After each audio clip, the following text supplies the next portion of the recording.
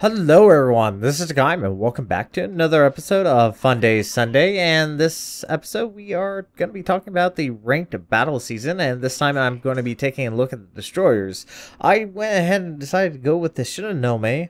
Uh, it's a fairly good ship. It's very similar to Fubuki so if you like the and enjoy playing the Fubuki, uh, this is actually a really good ship, and the good reason why this is a good ship is look at the matchmaking. For the most part, you see a lot of battleships. We have an Arizona, a Bayern, two Fusos, a Cleveland, Leander, and Shinonome on our team. On the enemy team, there is two New Mexicos, a Bayern, Mutsu, Cleveland, Molotov, and a Gaede. Uh, so, uh, being a destroyer, being a torpedo boat is really good because rank battle, you see a lot of battleships. Uh, not saying that's always going to be the case, but for the most part, it's pretty good. Now, the Shinonome is a little bit different than the Fubuki. Uh, has the same detection, uh, has very similar guns, uh, similar speed, but there's quite a few differences. The Shinonome has an additional, additional gun, as well as 8 range kilometer torpedoes versus 6, which the Fubuki can get. So Shinonome is definitely a little bit better. And just to point this out right now, my Shimakaze captain is actually currently on my Shinonome while I'm doing ranked battles. And so our team decided to push into A. Uh, there is a enemy Gaede, which I don't overly recommend. The Gaede does have the potential of getting 150 millimeter guns, but her detection and uh, her reload on her torpedoes kind of hamper her as, as well as her short duration on smoke.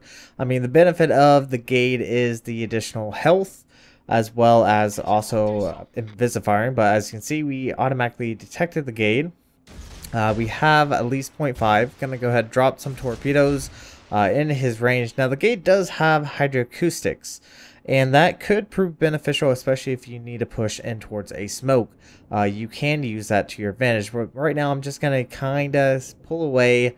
I am finally detected at the moment. It looks like the enemy team is pushing into A. Um, hoping to get a possible torpedo hit, but it looks like he slowed up a little bit too soon. Uh, may have had his hydro up especially since he knew there was a destroyer uh, just off his starboard bow. Now, probably the ships I would recommend is either the Shinonome or the Fubuki, if you, especially if you enjoy playing as torpedo bow, and especially since you do see a lot of battleships, or go with either the Farragut or the Anshan or possibly even the Gnevny. Now, the Farragut and the Anshan are basic gunboats. Uh, their torpedoes are fairly bad. The benefit of the Farragut is her smokes last a very long time. She's fairly stealthy. Uh, she doesn't have as much hit health points as her lower tier uh, sister ship, the Nicholas. So that's one thing to keep in mind. Now, the enemy Gaede is going to capture A. Uh, do have to be weary of any potential hydroacoustics. Trying to see where he might be. Gonna go ahead and drop another spread. Now the torpedo reload rate is very quick. Uh, once again, uh, due to the fact that my uh, Shimakaze captain is actually currently on this. So it gets it down to 1 minute and 5 seconds. So overall, not too bad. The Gaede is in a very terrible, terrible position. Uh, he has currently a Leander currently focusing on him. And he's to try to pull away. Now I'm to try to actually push into A. As you can see, the enemy battleships aren't really committing that much. Um, they are kind of sticking further back. We did take out their uh, Cleveland, which is actually a really good thing because the Cleveland is probably one of the better cruisers, not one of the one of probably probably a class cruiser as far as uh, the uh, cruisers are concerned on tier six. Uh, so Good thing we got rid of him. Now we can focus on these enemy battleships. Now at the moment they are sitting further back. I have to be weary of this Gaede. Do not want to be caught in a very compromising position uh, where I cannot really defend myself because the Shinonome does have three turrets, six guns total. Uh, but the reload rate is quite terrible. Now, here's another downside of the fact that the of the Shinonome is that she has no defensive AA. There's one gun. So if there is a enemy carrier and the enemy carrier decides to focus you, you there's really no way you can defend yourself. Although at this tier, uh, destroyers are very much at the uh, mercy of any enemy carrier that decides to go after them. Now I have laid down smoke, hoping to at least assist my friendly battleships. Hopefully they'll actually start to push up. Uh, looks like the enemy battleships are starting to push towards B. And this is where the fun begins. So once again, the Shinonome has 65 knot torpedoes, uh, 8 kilometer range, and the reload rate once you have torpedo armament expertise on uh, gets it down to around a minute and 5 seconds. So pretty decent all considering. Uh, so just keeping my distance, have to be uh, at least aware that there's a possibility of a Gaede. Should be able to detect a Gaede fairly quickly um, not likely he's going to catch me by too much surprise unless he does come around behind an island. So right now we are playing very, very passively. And this is kind of how you have to play rank. You have to play more tactfully. Um, not saying in random battles you should never play with tactics, but here you do have to be very aware of your positioning and the enemy positioning because one simple mistake can cost you your ship as well as the when as you can see, this Cleveland's actually using this island, or at least trying to use this island, uh, for his benefit, but I believe he's a little bit too close and is currently just shelling the island uh, for the most part, but some are making it through. Now, it looks like we do have a enemy in New Mexico that is pushing towards the B-cap. We do have a friendly Leander, and that's actually a really good cruiser right there. Some cruiser that I would recommend as far as playing uh, ranked battles so, uh, looks like the enemy team is starting to push up, and I honestly haven't done that much in this battle. I've only currently captured one base, and that's actually about it. I haven't even landed a torpedo or a hit, but it looks like the enemy team is starting to commit towards B. A is fairly well secured.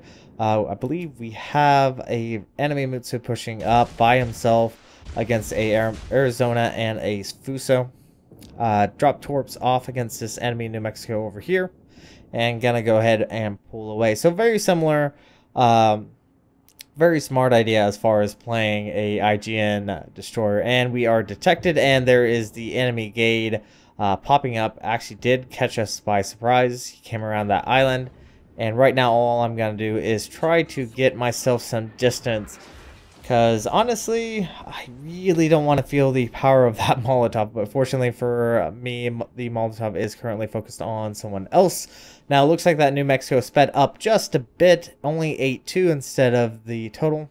And probably, yes, I know, probably should have spread those out a little bit more. But I was hoping uh, that this New Mexico captain was not paying that much attention. But it looks like he was. So at least we got two torpedo hits. That's probably going to cause him to burn his damage control since he did get a flooding on that. But our torpedoes are ready back up. Uh, next target is that Bayern. He is around 8 kilometers out, so I do have to get in a little bit closer uh, to actually land any possible torpedoes. Uh, this island's kind of hampering my drop. But for the most part, if if especially if you're playing a battleship, if you play this correctly, you will uh, be fine. Um, just be aware of where the possible destroyers are. And you should be alright, but it looks like he's actually starting to pull out. So that's going to throw off the drop on the torpedoes even more, which is unfortunate. Now our Leander has uh, ran into the enemy Gaede and is trying his very best. He's actually currently reversing out as quickly as possible. Now, the probably, yeah, probably the one destroyer I don't recommend is the Gaede.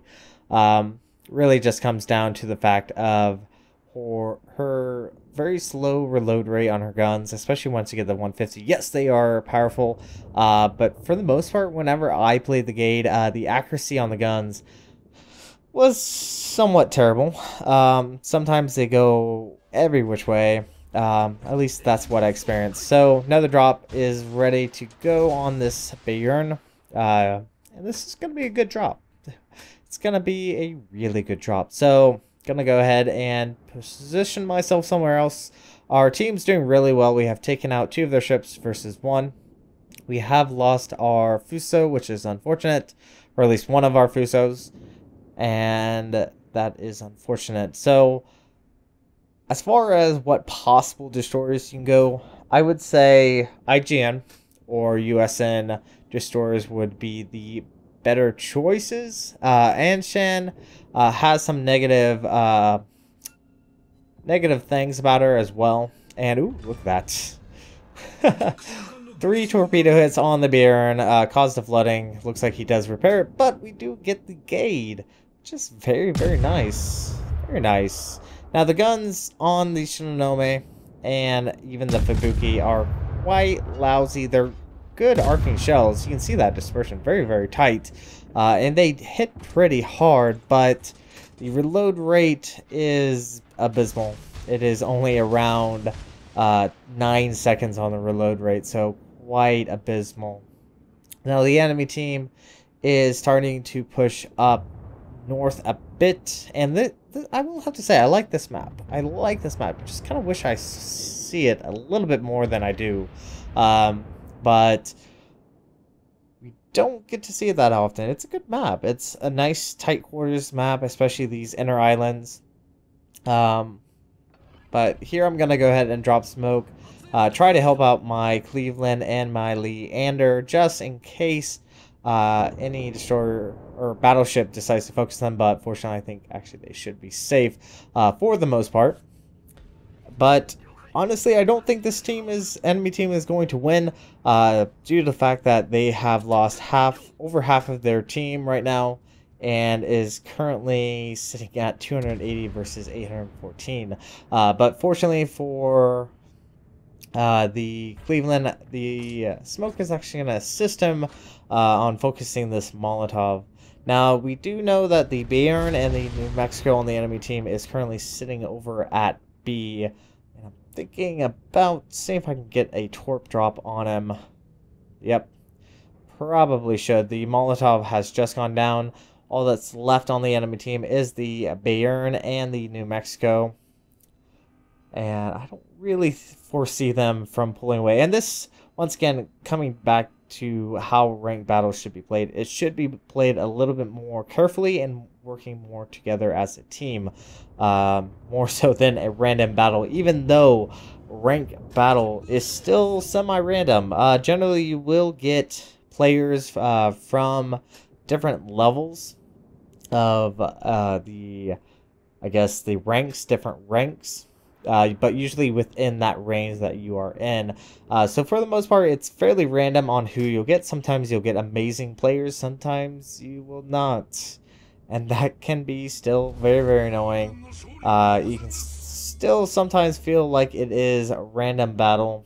Um, but overall, if you are going to do destroyers, uh, just play more uh, for the team especially if you have two destroyers, uh, you can uh, get around on the side and possibly drop some torps, especially IJN. It does a really fantastic job. Uh, but I think we are going to actually win this battle here in just a moment. Uh, the Bayern is pushing out and he's very, very low in health. And we are almost at a thousand points there. So this is actually going to be it for this episode. Thank you guys so much for watching. And if you like what you saw, hit the like and subscribe button. You guys have a great and fantastic day. Zaijian.